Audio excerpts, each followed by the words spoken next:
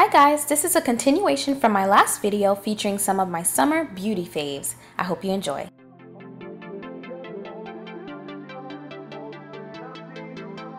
Alright guys, so this is my finished look. It was featuring my Bobbi Brown foundation. This one is the long wear even finish foundation with SPF 15. Um, this does retail for about $47. This foundation here I would say is light to medium coverage. Um, for the purpose of this video, I did apply my foundation a lot heavier than I normally would. This is about medium coverage. You can build it up to achieve that medium coverage but it's definitely more of a light foundation and that's part of what I love about it. The first thing that caught my eye was the packaging.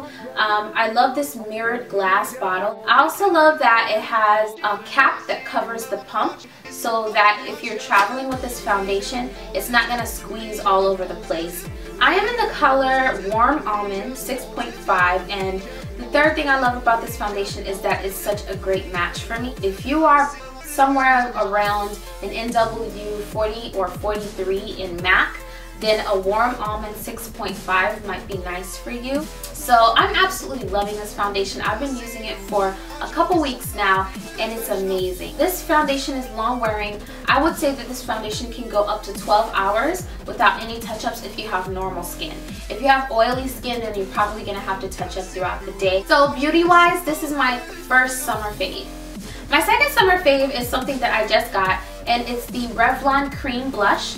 This is in Coral Reef and it's just this really nice corally orange blush. I think this blush is really pigmented but at the same time it's buildable. This blush shows up really nice on darker skin tones and um, I think it was about $12.99 but I actually purchased another Revlon product at Walgreens and I got this half off. One of the unique things about it is when you dip your finger into it, it feels like a cream, but then when you put it onto your skin and you blend it in, it kind of goes on like a powder, like a cream to powder almost. And I think this is light and just beautiful, beautiful color for the summertime. My third summer fave that is beauty related is something that I've had for a while now, a few months, and I just I love this product. It's on my eyes right now. This is the Flower Cosmetics.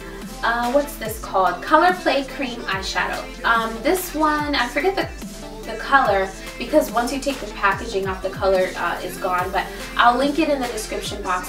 This is like a nice chocolate bronze and it's just amazing on um, darker skin tones and also lighter skin tones. If you guys uh, watch It's Judy's Time here on YouTube, I'm sure you'll have seen her review of this eyeshadow and it looks gorgeous on her and she's a lot lighter than I am. I love it. It just, it's so pretty. And I also love that when you put it on the lid, it's really shimmery, but then when you work it into the crease, it like it gets darker and it's, it's beautiful for a crease color as well. So this is my number one shadow this summer. My fourth summer beauty fave is this Mario Badescu Rose Water Facial Spray and it's just amazing. I love this. When I spray it on and I let it dry, my face just feels so hydrated and it feels like my skin is like plumper and firmer. It's very inexpensive. I got it at Ulta for $7. So next time you're there, definitely check this product out. And uh, this has done a pretty good job of setting my makeup and making it look like skin. Whenever you want to reduce that cakey appearance, a spray like this is perfect for that.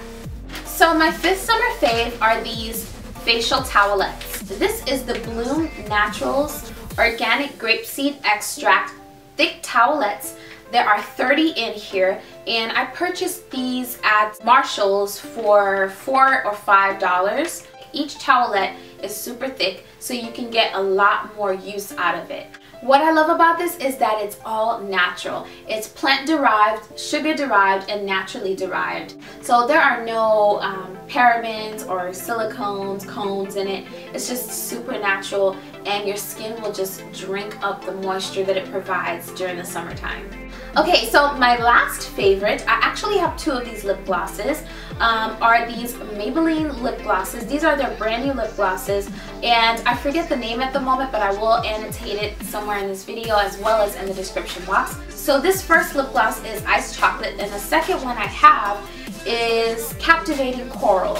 I'm absolutely in love with these lip glosses because the pigmentation is the best pigmentation that I've ever seen in a drugstore lip gloss. So this iced chocolate, don't get thrown off by the name. It's, it's really more like a nude and I love it. It's so pretty. Alright guys, so I know this was kind of like a combination video. I hope you guys enjoyed my summer foundation routine featuring my Bobbi Brown and also some of my favorite summer products at the moment. I'll see you guys in my next video. Bye!